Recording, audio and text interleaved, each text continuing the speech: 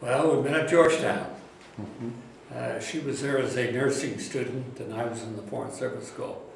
So we met, fell in love, and decided to uh, get married. So that was uh, where it all started. So, uh, and uh, What year was that, Dad? They just had a big anniversary. 1949. They just had their And, uh, 60th anniversary, Wow. two weeks ago. And, uh, and in the course of that marriage, we had uh, four children. Like so many things in life, there, it always happens by accident. Yeah, Uh, I think I'd go back to the uh, Kit's original uh, accident when she was paralyzed, and they, uh, when the doctors uh, consulted with us in Hartford. They said, "Well, you know, uh, Kit's not going to be able to do anything in life. That uh, she'll be uh, paralyzed from the neck down, and therefore." Uh, I would, uh, they would suggest to me that we seek some uh, easier way of life that wouldn't involve pressure on, you know, trying to take care of Kit. First of all, they said uh, there's no institution or public facility that takes care of people like Kit, quadriplegics. 80% of the support for such individuals is always provided by the family. So if the family doesn't do it, there's no one else to do it. The only it's a- it's a nursing alternative is probably a nursing home. But uh, Kit's surprised us by uh, Going back to work. going back to work and deciding that uh, uh, she didn't like the quiet of uh, Cape Cod and preferred the activities of Washington. So that brings me back to the uh, fact that when the doctors at Hartford told us that uh, if anybody was going to take care of a kid, it had to be us. There was nobody else to, to step in and do it. And this is a uh, a problem which uh, sort of gnawed at me for 28 years. At one point, I even just started calling, just down a list of every place that I could find, uh, and just ha- having them all tell me, your parents can come here, but you can't come here. And at that point, we realized this is going to be hard because I think without me, uh, my parents' situation will really.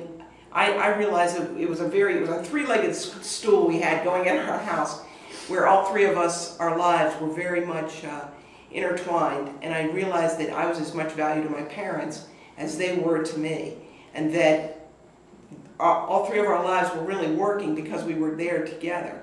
To split that group up would really be detrimental to all three of us. And uh, so when we talked about trying to find a place to go, and we said maybe they would have to go somewhere else, we were really hesitant to, to do that if we didn't have to. Um, this was the only place that we called that told us that we could all come in.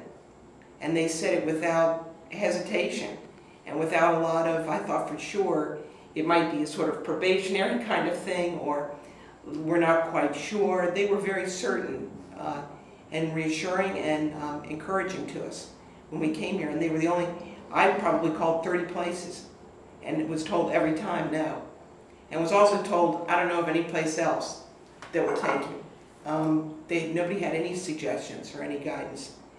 Uh, something that's became quite obvious to me by living here is that, uh, and it is something that is never really emphasized by the uh, people who run these uh, facilities, is that it actually adds years to your life.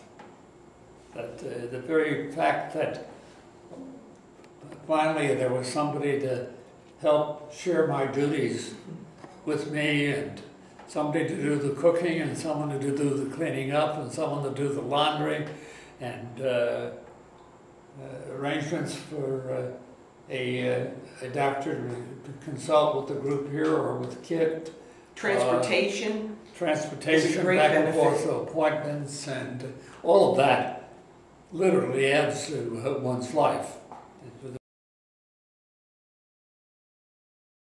I think uh, it was a good um, match in that my sister's background in theater, and she's very well connected in the Washington area in terms of resources that she can draw upon.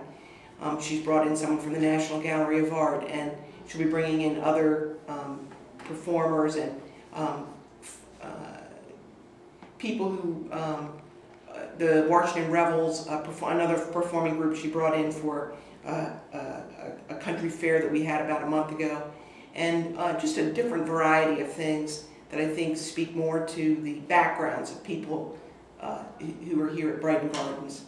Um, many of these people have traveled internationally for decades and have really varied um, and uh, int- very interesting backgrounds. And I think um, seem to me we're very uh, thirsty for a, a, a different kind of uh, sort of activity schedule and, and offerings like that. So You that's how. play. You can play bingo just so many times, you know, until it starts to get to you. So we felt something had to be done to provide a, a much more of a uh, type of activity that uh, the group had experienced in their lifetime. Yeah.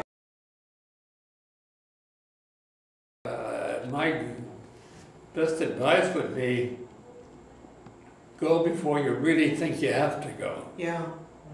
I think I think uh, that's it. if you can afford it, and you can, uh, you know, if you have the financial means to do it with, uh, and uh, it, uh, it can be a very, or I, it has been for us a very enjoyable experience, and uh, it has uh, given us a lot more, a much, a much greater feeling of community than we had mm-hmm. living in a house in which we, we didn't, we were no longer able to be in, in communication with the